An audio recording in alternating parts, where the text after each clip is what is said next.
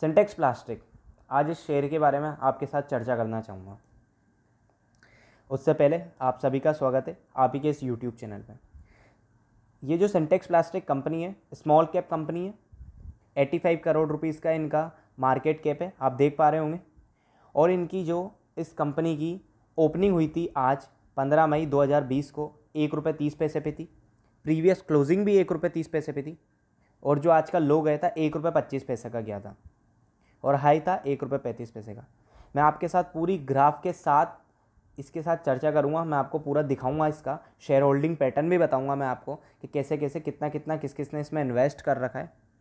और मैं आपको एक ही बात कहना चाहूँगा कि आपको इस टाइम पे ऐसे शेयर को पिक करना चाहिए, ऐसे शेयर में इन्वेस्टमेंट करना चाहिए जिसमें अपॉर्चुनिटी ज़्यादा हो और रिस्क कम हो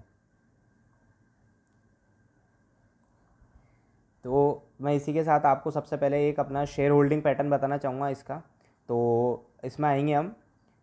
सबसे पहले हम आएँगे प्रमोटर्स पे। तो प्रमोटर्स का आप देख पा रहे होंगे। गुन्नीस का। इसके अंदर बताया जा रहा है।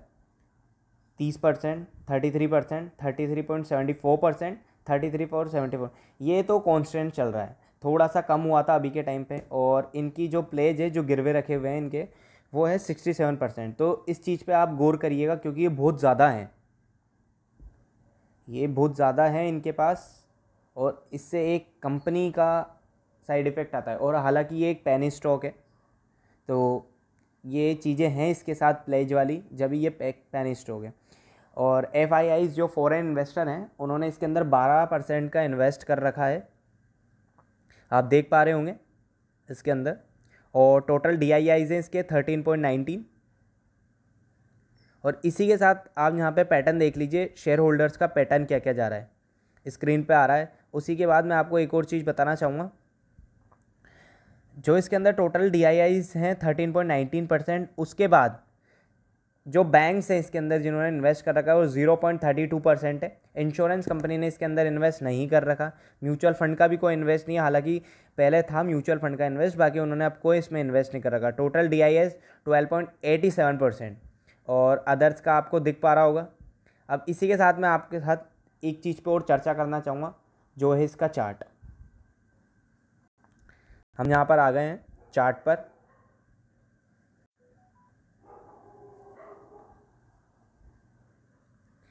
तो यहाँ पे मैं आपका सिक्स मंथ का चार्ट लगाना चाहूँगा और हम चार्ट को देखेंगे जैपनीज़ कैंडल स्टिक के साथ। अब कई सारे मेरे जो नए इन्वेस्टर हैं या बहुत सारे नए लोग हैं जो मेरे चैनल को देख रहे होंगे, उनको पता नहीं होगा कैंडल स्टिक क्या है। और बाकी लोगों को तो पता ही है, आप तो पुराने खिलाड़ी हैं स्टॉक मार्केट में।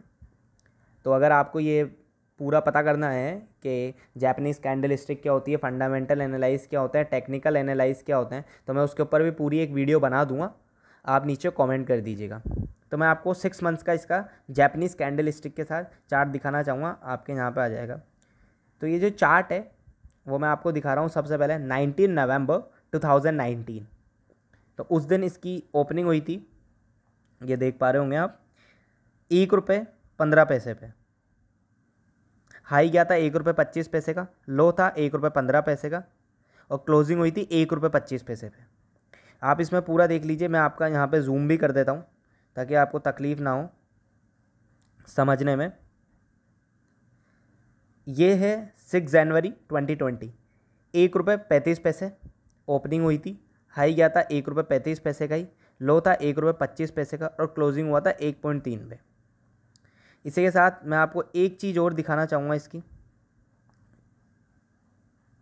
आप यहाँ पे देखिए। सात फरवरी twenty twenty.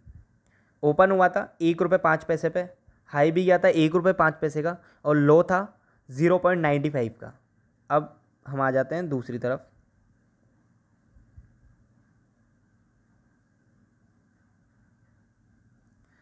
Thirteen March two thousand twenty. Open zero point six, high zero point sixty five, low zero point fifty five. और क्लोजिंग भी ज़ीरो पॉइंट फिफ्टी फाइव का है। तो इसी के साथ आप देख पा रहे होंगे। आप यहाँ पे देख लीजिए, मैं आपको ये दूसरा भी दिखा देता हूँ जूम कर देता हूँ मैं इसको। आप देख पा रहे होंगे, ये देख लीजिए। तो ये एक पैनी स्टॉक है और इसमें इन्वेस्ट करने से पहले आप अपने जो भी इन्वेस्टर हैं, उनसे सजेशन ले लीजिए। फाइनेंशियली एडवाइज़र से आप सजेशन ले लीजिए। क्योंकि ये एक पैनी स्टॉक है तो इसमें मैं आपको कहूँगा नहीं कि आप इन्वेस्ट करिए। इतना ज़्यादा आपका पोर्टफोलियो का अमाउंट हाँ अगर आप कुछ तीन से चार परसेंट इन्वेस्ट करना चाहें तो इसमें काफ़ी अच्छा आपको रिटर्न मिल जाएगा आने वाले कई सालों में। और कई चीज़ें होती है, जैसे मैं आपको बताना चाहूँगा कि टाइटन भी एक टाइम पे पैनी स्ट्रोक ही था। तो हर पैनी स्टॉक टाइटन नहीं बनता, बाकी टाइटन भी एक टाइम पे पैनी स्टॉक था। तो आपका सिलेक्शन अच्छा होना चाहिए कंपनी का। तो आप अच्छा खासा प्रॉफिट अर्न कर सकते हैं इसके साथ। और इसी के साथ मिलते हैं आपसे दूसरी वीडियो।